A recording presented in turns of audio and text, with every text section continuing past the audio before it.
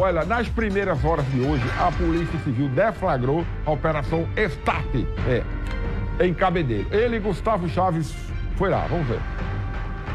A grande operação foi deflagrada nas primeiras horas desta quarta-feira na cidade portuária Cabedelo. Pois é, de sete alvos, cinco foram presos por força de mandato de prisão envolvidos em tráfico de drogas e homicídios. É o combate ao tráfico de drogas e também a prática de homicídios naquela região.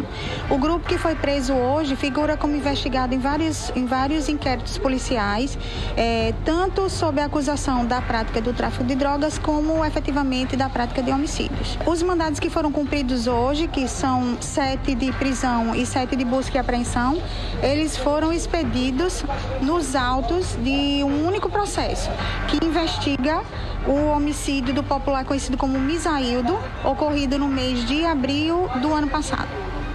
A operação, ela, ela continua, né? Ter segmento dessa operação, acho que é a primeira fase dessa operação, a operação Start.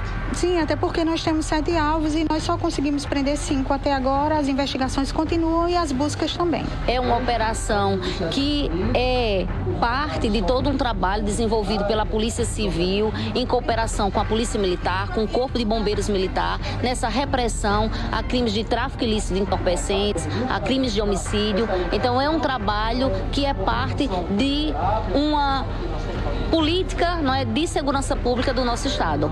Essa é a primeira fase da Operação Start do Bem.